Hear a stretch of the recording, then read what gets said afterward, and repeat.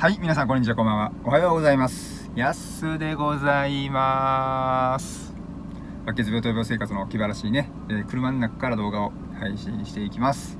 えー、この動画でね、白血病や癌になってしまったたくさんの患者さん、そしてそのご家族、お友達が元気になったままそに頑張っていきます。えー、そして皆さん、この動画配信をきっかけにですね、ぜひ、献血骨髄バンクにご協力ください。皆様の血液が必要です。日本全国、世界中で YouTube を見ている皆様、どうぞよろしくお願いいたしますはい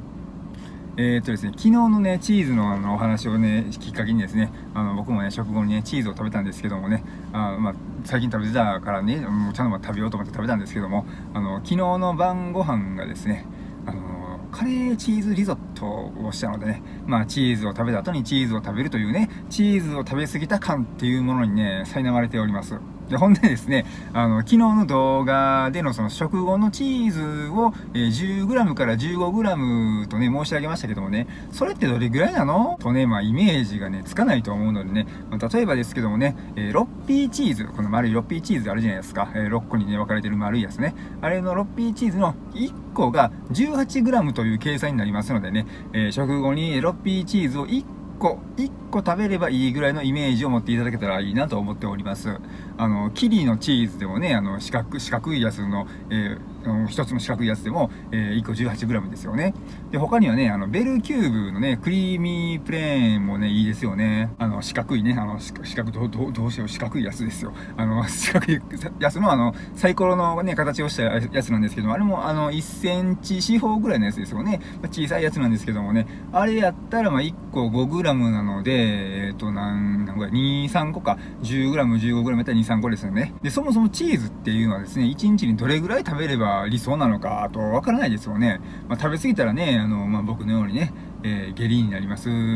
しね、えー、まあなりやすかったりしますからね。まずそのカロリーからね、そのチーズのね、適量っていうのをね、想定するとですね、え男性で、成人男性でですね、その1日の基礎代謝の平均がね、えー、1500キロカロリーか、それぐらいか。で、女性が1200キロカロリーくらいとね、考えますとですね、大体ですよ、大体それぐらいと考えてますとですね、あの、基礎代謝っていうのはですね、あの、何もせずにいて、こう、ぼーっと、何もせずに、一日じっとしてたりとかね、まあ、立ち歩いてね、トイレに行く時とかはありますけどもね、ご飯を食べるとかっていう風にカロリー使いますしね、えそういう風な、もう何もしない、その運動じゃないよっていう消費カロリーのことです。で、その1日にその必要なね、摂取カロリーっていうのはですね、え基礎代謝の、まあ、およそ1.5倍から2倍程度ですので、あの、まあ、2000キロカロリーから3000キロカロリーっていうのがね、平均と考えられますよね。で、ほんで、一般的なそのプロセスチーズってあるじゃないですか。あれのカロリーがですね、100g あたりだいたいね、340キロカロリーぐらいですですので、まあその全てのね、カロリーをですよ、あのチーズからね、全部丸々摂取したとしたらですね、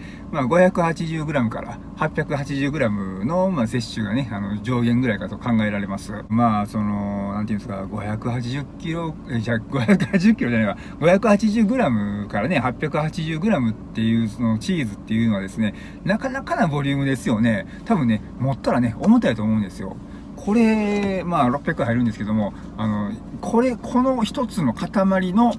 チーズを1日に食べてしまうぜっていうようなことですよね。なかなかですよね。まあ、できるもんだやってみろって感じなんですけど、僕はね、要しませんけどね、もう次の日ね、あの、なんていうんですか、胸焼けっていうのがね、なって、あの、お腹が重たくなってしまうと思います。でももちろんね、その、いろんな食品からね、バランスよく栄養をね、摂取することが当然のことながらね、望ましいので、チーズだけでね、この、こんだけのチーズだけでね、その、カロ、こんだけ、こんだけですよ。ここれじゃないですよ。これさっきの分なんでね、こんだけの分の、あのね、カロリー摂取っていうのはね、絶対に避けた方がいいですよね。まあ、その世間一般的にね、おやつとか、まあ、嗜好品とかあるじゃないですか。あれのね、カロリーの目安っていうのが、だいたい1日あたりね、約200キロカロリーぐらいですので、まあこれをね、プロセスチーズに換算するとですね、60g 弱ぐらいになりますね。まああくまでもね、目安なのでね、あの、カロリー的な見方でしたらですね、1日のチーズの適量っていうのは 60g ぐらいで止めておきましょう。なのでね、6ピーチーズやったら、キリやったら、えー、1日3個くらいですよね。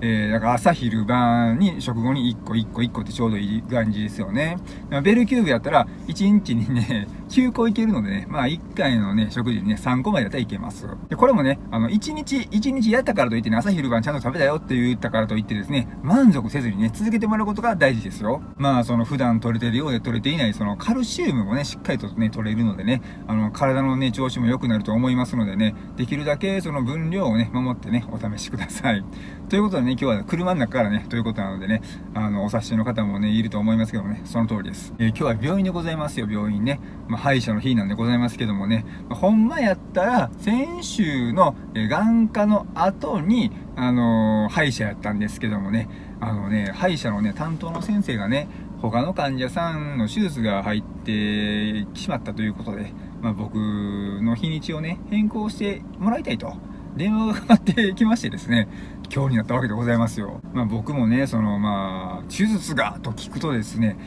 もう大事やしね、まあ、休を要するであろう事態という、まあ、イメージがありますのでね、そりゃ、そのね、患者さんをね、あの、優先してあげたくなったのでね、まあ、日にちをね、お譲りするということになったんですけどもね、でもね、後々考えたらですね、あの、俺の方が先やったんですけど、ってね、思ってしまいましてね、でもね、まあ、僕の歯の状態もね、すごくマシになってきているのもありましたし、えまあ、何よりもね、自分よりもね、その困ってる人が、いたらですよ、変わってあげたくなる性格なので、でもね、あの、もし自分の手術やったらね、そのね、日が自分の手術だったら、まあそうはいかないとは思いますけどもね、で、先生もね、その手術で困ってる患者さんをね、救ってあげてくれたので、まあ感謝しかないですよね、そこはね、考えたらね。で、ほんで、今日のね、歯医者というのはですね、あの、まあ、状態が悪化していないかのチェックをしてもらってね、あとはまあ、口腔内の清掃にしてもらうと思います。まあ予想ですけどもね。まあ、ここ最近はですね、その最初の問診、指針、触診でですね、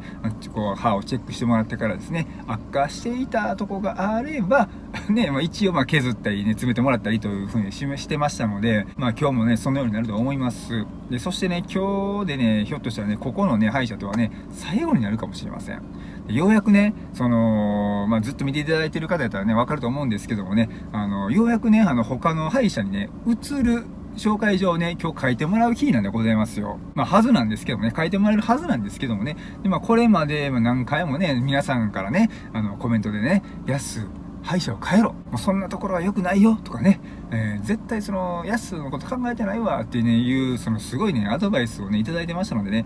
その日がね、今日になりそうなんですよ。その移る歯医者っていうのをですね、僕がね、骨髄移植をする前に、えー、入院してた病院のね、あのー、抗がん剤とかしてね、あの、治療してた病院なんですけども、そこの、えー、病院の、え下にある歯科口腔外科の外来ですよね。そこに問い合わせたんですよ。だからそこが OK だったんで、もうそこになるんですよね。カルテもあるしね、えー、と、メンバーズカード、メンバーズカードじゃないわ、何や、診察券や、診察券もあるんで、そこに、えね、あの、行かしてもらうことは、もう電話で、あの、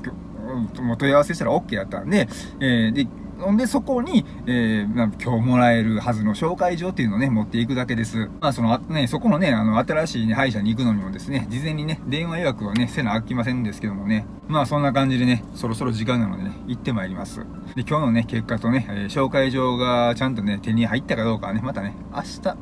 明日ね、えー、動画でね、あの、お話しさせていただきます。そんな感じで、今日は以上です。